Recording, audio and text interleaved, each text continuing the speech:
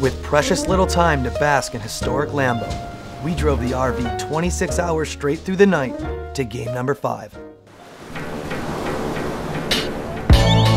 Overlooked by many for the more tourist friendly Miami, it's a high energy community that moves to its own beat. The 904 is the largest landmass of any city in the United States, with a cultural landscape all over the map. There's a love it or leave it mentality, and the people here like it that way. Welcome to Jacksonville. Hey, we're John and Mike, brothers who are die-hard football fans on a mission to do the unthinkable. Tailgate 32 pro football games in 17 weeks, all in an RV. Each team's city has its own style and traditions, and we're gonna try them all. We'll dine, drive, and discover what it takes to be the ultimate football tailgate. This is Tailgate 32.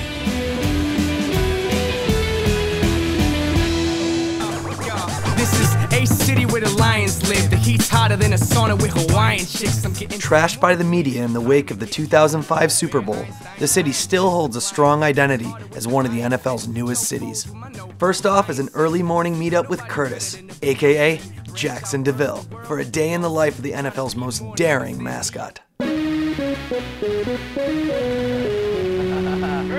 Sorry I'm late, guys. How you doing? Mike. Good. Good to meet you.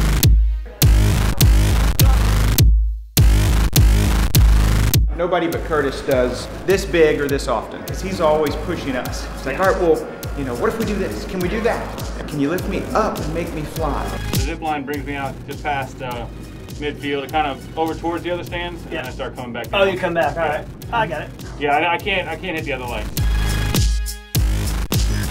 And we watched Hugh Jackman do that on Oprah, and we don't want to do that. You know, it started out when I was 20, 22 years old when I got here. Had no idea what the NFL was about, being a mascot in the NFL was, and luckily the team didn't either, so that's why I got away with so much. Because they were like, yeah, I was like, can I do this skit? And they're like, sure.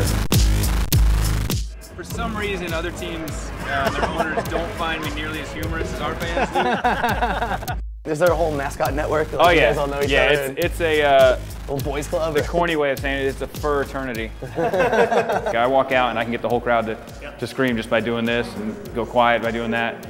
You, it wouldn't work in Pittsburgh and Cleveland and stuff like that. Those, it's it's different. You know, here we all learned it at the same time, and so respond they so- respond to it. And you know, I moved down here and fell in love with this city for the same reason a lot of people do is we don't really care if somebody else doesn't like it. If you don't like boating and the river and the intercoastal and the beaches, that's fine. Go somewhere else. Like we don't, we're not here to try and make you come like our city.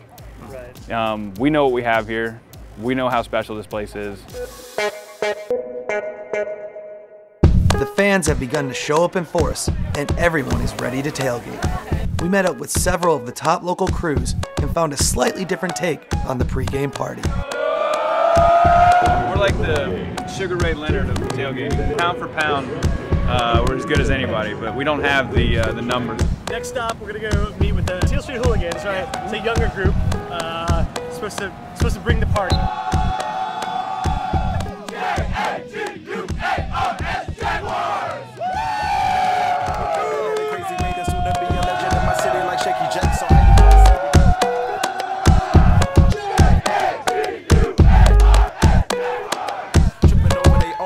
I get meticulous and call it how I see it. Heads, tails. All of this right here is basically just to put butts in that stadium right there. That's the main focus for, for me and all Jaguar fans that I know. Everyone says we never represent, but we are Duval till we die. That's a fact, not an opinion. I'm pretty excited. I, you know, is boat gating just tailgating on a boat, or There's got to be more to it. maybe you catch fish? Maybe you, maybe you wrestle alligators?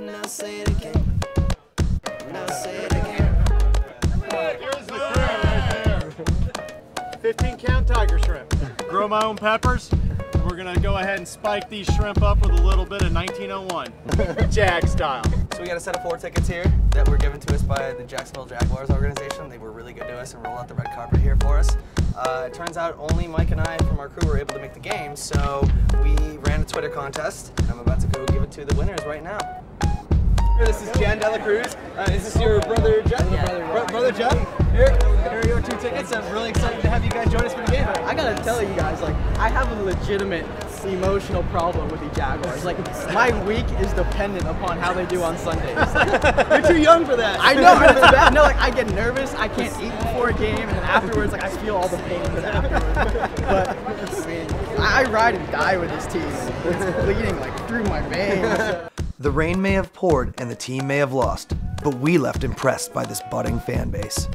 Now we're off to the deep south as we rock and roll our way to Atlanta, Georgia. Probably says please not climb on the gator, so wanna climb the gator? Sure, why the hell not? It's not really anywhere to go on it, but. Of course, everybody wants to climb the gator. It's so climbable. you definitely could support our weight. Yeah, he's a strong fella.